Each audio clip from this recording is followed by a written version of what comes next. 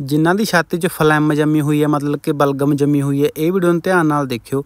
ਤੇ ਜਾਂ ਖਾਂਸੀ ਹੈ, ਪੁਰਾਣੀ ਖਾਂਸੀ ਹੁੰਦੀ ਹੈ ਕਈਆਂ ਨੂੰ, ਤੇ ਖਾਂਸੀ ਹੈ ਚਾਹੇ ਜ਼ੁਕਾਮ ਹੈ। ਇਹ ਤਰੀਕਾ ਵਰਤ ਲਿਓ, ਤੁਹਾਡੀ ਖਾਂਸੀ ਜਾਂ ਬਲਗਮ ਜਾਂ ਫਲੈਮ, ਮਤਲਬ ਕਿ ਫਲੈਮ ਕਹ ਲਓ, ਚਾਹੇ ਜੰਮੀ ਹੋਈ ਹੈ, ਤੁਹਾਡੀ ਇੱਕ ਜਾਂ ਦੋ ਦਿਨਾਂ ਦੇ ਵਿੱਚ ਬਾਹਰ ਨਿਕਲ ਕੇ ਆ ਜਾਊਗੀ ਤੇ ਤੁਸੀਂ ਬਿਲਕੁਲ ਸਹੀ ਹੋ ਜਾਓਗੇ। ਅੱਜ ਦੇ ਟਾਈਮ 'ਚ ਸਭ ਤੋਂ ਵੱਡੀ ਬਿਮਾਰੀ ਇਹੋ ਬਣੀ ਹੋਈ ਹੈ, ਕਿਉਂਕਿ ਆਪਾਂ ਨੂੰ ਜੇ ਜ਼ੁਕਾਮ ਹੁੰਦਾ ਜ਼ੁਕਾਮ ਦਾ ਆਪਣਾ ਜਿਹੜਾ ਨਾਜ਼ਲਾ ਅੰਦਰ ਡਿੱਗਦਾ ਉਹਦੇ ਕਾਰਨ ਖਾਂਸੀ ਹੁੰਦੀ ਹੈ। ਖਾਂਸੀ ਕਾਰਨ ਆਪਣੇ ਬਲਗਮ ਜੰਮਣ ਲੱਗ ਜਾਂਦੀ ਹੈ। ਫਿਰ ਆਪਣੇ ਫੇਫੜਿਆਂ ਤੇ ਦਿੱਕਤ ਆਉਂਦੀ ਹੈ। ਫੇਫੜਿਆਂ ਤੋਂ ਬਹੁਤ ਤਰ੍ਹਾਂ ਦੀਆਂ ਫਿਰ ਬਿਮਾਰੀਆਂ ਹੋ ਜਾਂਦੀਆਂ ਨੇ, ਅਸਥਮਾ ਵਗੈਰਾ ਬਹੁਤ, ਮਤਲਬ ਕਿ ਖਾਂਸੀ ਤੋਂ ਬਹੁਤ ਲੋਕਾਂ ਨੂੰ ਅਸਥਮਾ ਤਾਂ ਹੀ ਹੁੰਦਾ ਕਿਉਂਕਿ ਉਹਨਾਂ ਦੀ ਛਾਤੀ 'ਚ ਜਿਹੜਾ ਮਤਲਬ ਕਿ ਬਲਗਮ ਜੰਮਣ ਲੱਗ ਜਾਂਦੀ ਹੈ। ਇਹ ਚੀਜ਼ ਪੀਓ, ਤੁਹਾਡੇ ਮਤਲਬ ਕਿ ਇੱਕ ਤੋਂ ਦੋ ਦਿਨਾਂ 'ਚ ਬਲਗਮ ਸਾਰੀ ਬਾਹਰ ਨਿਕਲ ਕੇ ਆ ਜਾਊਗੀ। ਤੁਸੀਂ ਥੋੜਾ ਜਿਹਾ ਗੁੜ ਪਾਣੀ 'ਚ ਮਤਲਬ ਕਿ ਗਰਮ ਕਰ ਲਿਓ, ਜਿਹੜਾ ਜਿੰਨਾ ਤੱਕ ਉਹ ਮੈਲਟ ਨਹੀਂ ਹੁੰਦਾ ਥੋੜਾ ਹੀ ਪਾਣੀ ਪਾਇਓ ਤੇ ਥੋੜਾ ਹੀ ਗੁੜ ਪਾਇਓ, ਜਿੰਨਾ ਤੁਸੀਂ ਆਪਦਾ ਸਵਾਦ ਅਨੁਸਾਰ ਪਾ ਸਕਦੇ ਹੋ ਬਾਕੀ। ਤੇ ਇੱਕ ਤੁਸੀਂ ਲੈਣੀ ਹੈ ਇਲਾਇਚੀ ਤੇ ਇੱਕ ਅਜਵਾਇਣ ਇਲਾਇਚੀਆਂ ਲੈ ਸਕਦੇ ਹੋ 20 ਤੋਂ 25 ਇਲਾਇਚੀਆਂ ਲੈ ਸਕਦੇ ਹੋ ਤੇ ਇੱਕ ਚਮਚਾ ਅਜਵਾਇਣ ਦਾ ਲੈ ਸਕਦੇ ਹੋ।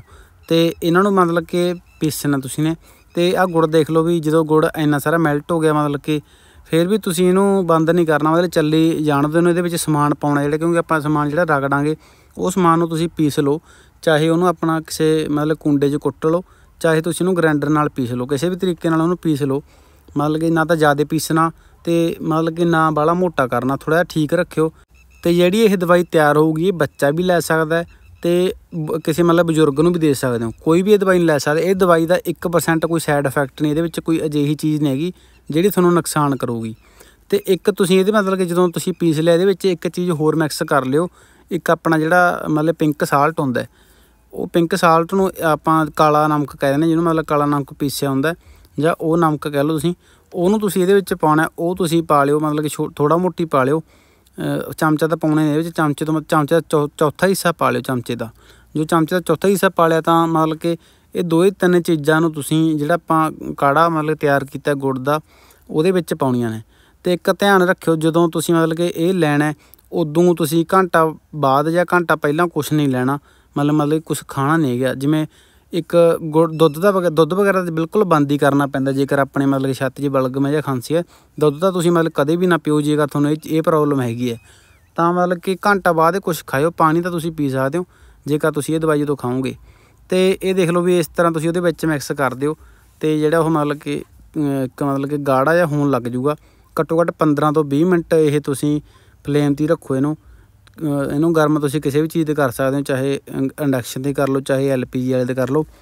ਤੇ ਇਸ ਤਰ੍ਹਾਂ ਤੁਸੀਂ ਮਤਲਬ ਕਿ ਇਹਨੂੰ ਕਾੜੀ ਜਾਣਾ ਇਹਨੂੰ ਨਾਲ ਦੀ ਨਾਲ ਹਲਾਈ ਚੱਲਿਓ ਤਾਂ ਜੋ ਇਹ ਮਤਲਬ ਕਿ ਜ਼ਿਆਦਾ ਮੱਚੇ ਨਾ। ਫਿਰ ਇਹਦਾ ਮਤਲਬ ਸਵਾਦ ਖਰਾਬ ਹੋ ਸਕਦਾ। ਸਵਾਦ ਵੀ ਇਹਦਾ ਮਤਲਬ ਵਧੀਆ ਹੁੰਦਾ, ਆਪਾਂ ਕਹਿੰਦੇ ਵੀ ਸਵਾਦ ਇਹਦਾ ਮਤਲਬ ਕਿ ਅਨਸਵਾਦਾ ਹੁੰਦਾ ਵਧੀਆ ਸਵਾਦ ਹੁੰਦਾ, ਤੁਸੀਂ ਮਤਲਬ ਖਾ ਸਕਦੇ ਹੋ ਉਹਨੂੰ ਤੇ ਇੱਕ ਮਤਲਬ ਕਿ ਹੋਰ ਧਿਆਨ ਰੱਖਿਓ ਵੀ ਜਿਹੜੇ ਨੇ ਇਹ, ਜਿਹੜੇ ਮਤਲਬ ਕਿ ਕਾੜਾ ਇਹ ਲੈਣਾ ਜਿਹੜੀ ਆਪਾਂ ਗੱਲ ਦੱਸੀ ਸੀ ਵੀ ਕੁਝ ਘੰਟਾ ਪਹਿਲਾਂ ਜਾਂ ਬਾਅਦ ਚ ਨਹੀਂ ਲੈਣਾ। ਤੇ ਜਦੋਂ ਇਹ ਤਿਆਰ ਹੋ ਗਿਆ ਤੁਸੀਂ ਆਪਣੇ ਕਿਸੇ ਬਰਤਨ ਜਿਹਨੂੰ ਪਾ ਕੇ ਰੱਖ ਸਕਦੇ ਹੋ, ਸਵੇਰੇ ਉੱਠ ਕੇ ਲੈ ਸਕਦੇ ਹੋ ਜਾਂ ਜਦੋਂ ਤੁਸੀਂ ਸ਼ਾਮ ਨੂੰ ਪੈਂਦੇ ਹੋ, ਉਦੋਂ ਲੈ ਸਕਦੇ ਹੋ। ਘੰਟਾ ਉਦੋਂ ਪਹਿਲਾਂ ਵੀ ਨਹੀਂ ਕੁਝ ਖਾਣਾ, ਕਿਤੇ ਮਤਲਬ ਆਪਾਂ ਕੁਝ ਖਾ ਕੇ ਉਦੋਂ ਬਾਅਦ ਵਰਤੇ ਜਾਂਦੇ ਕਿਉਂਕਿ ਫਿਰ ਆਪਣੇ ਕੰਮ ਨਹੀਂ ਕਰਦਾ, ਬਾਅਦ ਚੋਂ ਪਾਣੀ ਵੀ ਨਹੀਂ ਪੀਣਾ। ਜਾਂ ਇਹਨੂੰ ਲੈਣ ਸਰ ਪਾਣੀ ਵੀ ਨਹੀਂ ਪੀਣਾ ਉੱਤੇ ਬਸ ਇਹਨੂੰ ਤੁਸੀਂ ਇਹਦਾ ਹੁਣ ਤੱਤਾ ਮਤਲਬ ਜੋ ਠੰਡਾ ਕਰਕੇ ਤੁਸੀਂ ਇਹਨੂੰ ਖਾ ਸਕਦੇ ਹੋ। ਜਦੋਂ ਵੀ ਤੁਸੀਂ ਪੈਣਾ ਜਾਂ ਮਤਲਬ ਸਵੇਰੇ ਉੱਠਦੇ ਹੋ, ਇਹ ਚੀਜ਼ ਨੂੰ ਮਤਲਬ ਕਿ ਇੱਕ ਚਮਚਾ ਭਰ ਕੇ ਇਹਦਾ ਚੱਟ ਸਕਦੇ ਹੋ। ਤੇ ਜਿਹਨੂੰ ਵੀ ਬਲਗਮ ਦੀ ਪ੍ਰੋਬਲਮ ਹੈਗੀ ਇੱਕ ਵਾਰੀ ਇਹ ਤਰੀਕਾ ਵਰਤ ਕੇ ਜ਼ਰੂਰ ਦੇਖ ਲਿਓ। ਇੱਕ ਤੋਂ ਦੋ ਦਿਨ ਵਰਤ ਲਿਓ, ਤੁਹਾਨੂੰ ਪਤਾ ਲੱਗ ਜਾਊਗਾ ਵੀ ਤੁਹਾਡਾ ਸਰੀਰ ਤੁਹਾਨੂੰ ਦੱਸ ਦੂਗਾ ਠੀਕ ਹੈ ਦੋਸਤੋ, ਵੀਡੀਓ ਨੂੰ ਸ਼ੇਅਰ ਕਰ ਦਿਓ ਤੇ ਪੇਜ ਨੂੰ ਫੋਲੋ